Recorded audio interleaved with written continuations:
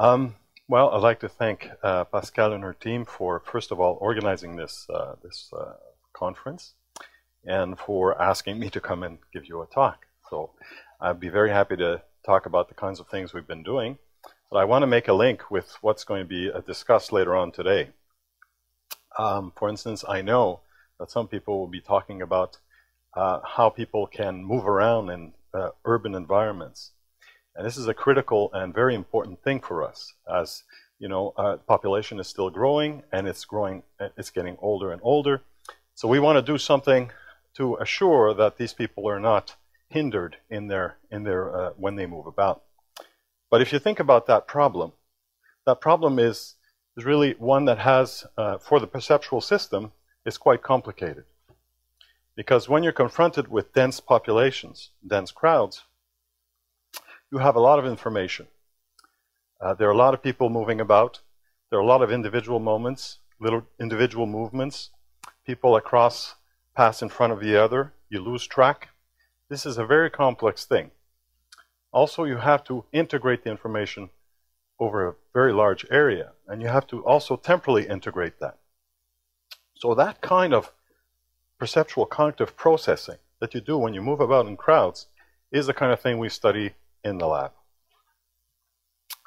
Now, another thing that we're very interested in in the lab is the impact of subtle changes, subtle neurobiological changes to the system. Healthy aging is a good example of that. Very subtle changes, but it has some influences, it has an impact on how you process information. So we're interested in how you process that kind of information, let's say in the crowd, and then how these subtle changes will impact that processing. But once we've done that, there's a third step. We'd like to make you improve on these particular functions. So we're going to look at that today and see whether that is possible. Uh, well, let's start with the aging process. Okay. Um, we know now from the work that we've, some of the work we've done in the lab, that um, older people have a harder time processing complex visual information. The crowd example is a good example of that. Now you take somebody at home, they'll walk very easily from the kitchen to the living room. It, no, no hesitation, very smooth gait. You take that same person, you put it on the corner of a busy street, and often they will freeze, they will hesitate. And that's because there's a lot of information to process. So we know complexity is a problem. Another thing is we know that speed is a problem. So time, reaction time, and, and making decisions in the context of these complex environments is not a simple thing. So if you add those two together, uh, you, can imagine that crowd dynamics is a complicated thing. So, like I said before, if you have people moving about, the movement is not necessarily fluid. Okay, you have a, a general sense of where the people is, are going. You have a general sense of where the crowd is moving. It's a bit like watching the trees and the leaves, you see. You can watch individual leaves. The individual leaves is moving a certain way, but the tree, the wind is blowing, as you know, in a particular direction. And the fact that you see the wind blowing in a particular direction is because you're integrating those individual little movements and you're making a calculation of how things is, where, where the, the wind is blowing in a, in a general sense. So we have to do a lot of what we call spatial temporal integration. Things are happening very fast. Even if a crowd is moving slowly, there are sudden changes, sudden bifurcations. Somebody is avoiding a particular uh, a rock or, or an object, for instance. And there are multiple elements to track. Now, the example I like to give is the example with children. Everybody who has children knows it's not easy to track your kids when you go to the shopping center or when you're downtown. If you have two children and they go in opposite directions, you have to keep track of these two. That's very difficult. You're distributing your attention on multiple elements. So these are all things that are very difficult for the older population. So let's, let's try to see how we can sort of isolate this and create something uh, that we can actually test and, and evaluate the ability on. So if we look at uh, multiple object tracking and we make the analogy with the, with the crowd movement, then we can ask people to sort of track these multiple elements and then the, we activate these multiple elements and after all of this moves in different speeds and different uh, with different occlusion uh, conditions, we ask them to say, okay, which were the ones you were tracking? Okay, that sounds very simple to do, but it's very hard to do. And if you push this at extremes, if you push the person to do it faster and faster, that's very hard. So let's look at the uh, uh, environment that we use to assess these kinds of, uh, of uh, tasks. Well, first we use virtual environments, immersive environments. And the reason is because we can maintain the perspective of, of, the individual. So in these environments, you have, first of all, large visual field, which is critical, as we said before, because if I'm looking at a crowd, I'm looking at movements in a crowd, there is a lot going on, but I'm integrating over the large field. It's not like watching a television movie. Second of all, when I move my head around and I display, you know, I have different uh, points of regard, points of, uh, of visualization, uh, the, the images on my eyes change, and uh, they must be calculated and change as a function of that. That's what we do in the virtual environment. And plus, there's stereoscopy and all sorts of other features that are analogous to the real situation. So let's take the basic methodology. Um, we first place the person in a, in a comfortable position, but there are many, now we have people standing on their feet, uh, jumping up and down. We have all sorts of tasks that, that we ask the people. But generally speaking, you want them to be relaxed, looking at this and concentrating. So we have them sitting down. We present them with a certain number of elements or spheres in the 3D volume space. And then we identify some a subset of these spheres. The example that's given here is, five, is four, four elements, four spheres that are turning red. And then they become yellow again. And then the movement starts, the dancing starts, the crossing over starts, a bit like the crowd movement, a bit like the kind of movement you see during sports activities when you're dealing with information. And then everything halts, and I ask you, or the subject, to tell me which were the spheres that the, the subject was tracking. So do you want to try it? Are you ready to try this exercise? yeah? Oh, I heard a big yes. I love that. So what's going to come next is you're going to see the spheres, and I will ask you to keep your fixation in the center. And there's a good reason for that, because if you start tracking one of the balls or one of the spheres, you're going to lose the others. Okay, it's not a good strategy in this particular case.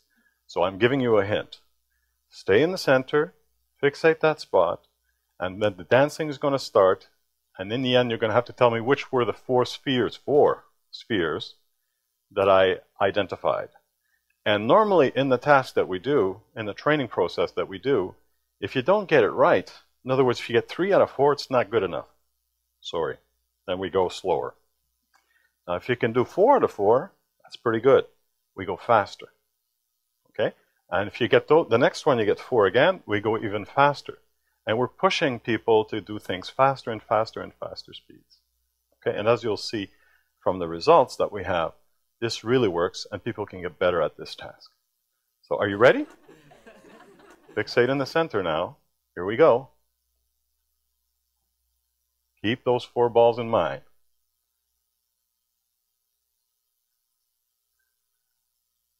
Keep the four balls in mind. Okay, which balls were, which spheres were? Come on, come on. Get at least one or two of them. Here we are, we're giving you a little perspective. There we go. Three, four, five, and eight. Now, that was easy.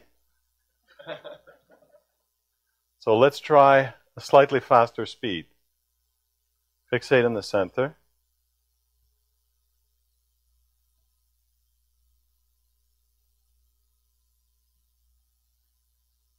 Okay, here we go. Which spheres? Okay. So it's five, six, one, seven. And just to push the limits, let's do at a third speed.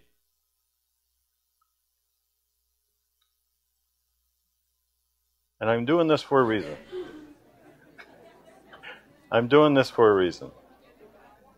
The reason is that this is actually slow for some of the people we train.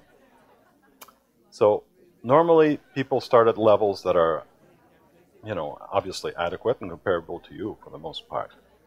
But once we train them and we ask them to, you know, do this exercise for a certain amount of time, they actually get better and better at it.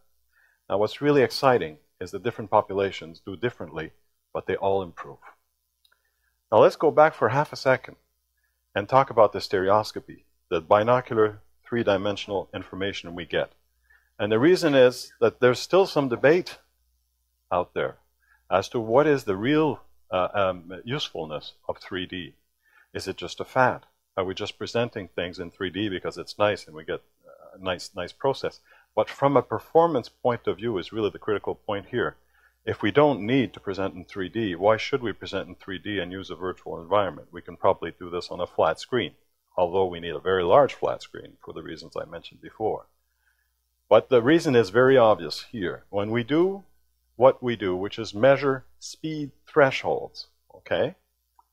we find that every single condition that we've tried, there is a clear advantage of having stereoscopy. So somehow, the 3D, binocular 3D information that you have in this kind of environment helps you disentangle the elements in this very complex and, and, and dense maze that we're looking at. So that's critical, and that's why we do it in three dimensions. So what about training?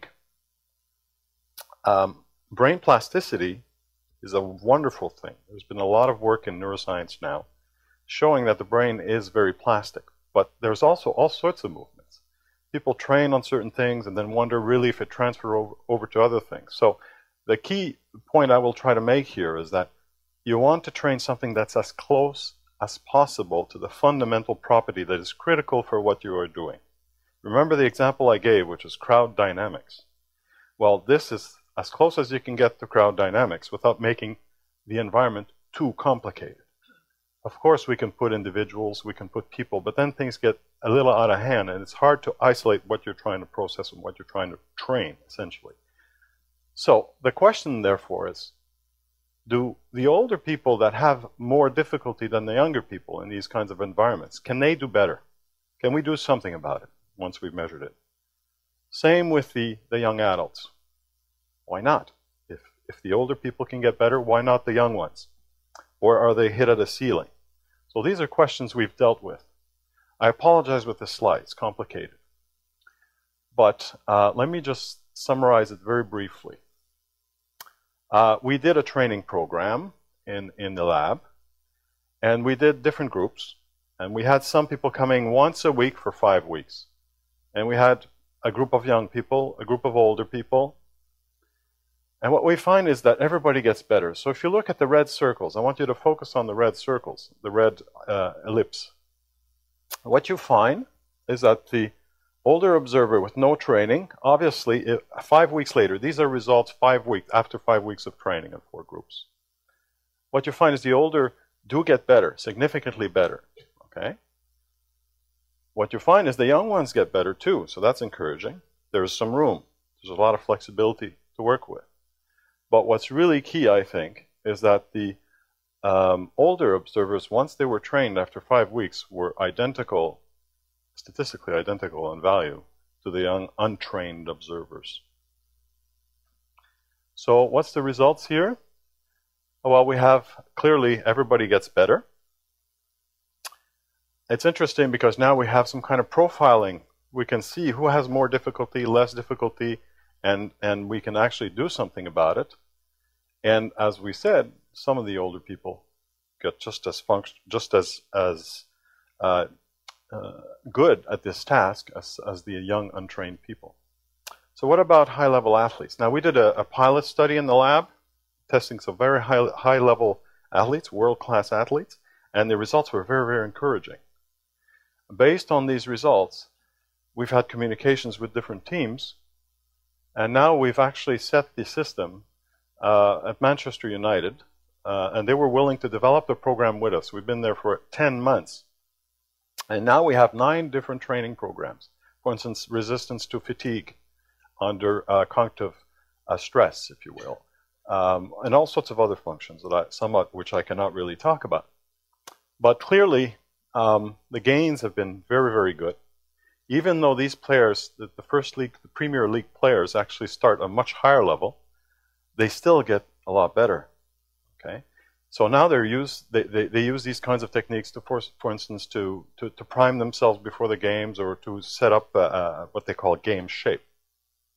Now we have installations in, in, uh, in the National Hockey League with Penguins and, and Senators and, and the Canucks, and we also have with the, the rugby teams and other Premier League teams and NCAA team or, or center, training center. So now the fire is caught.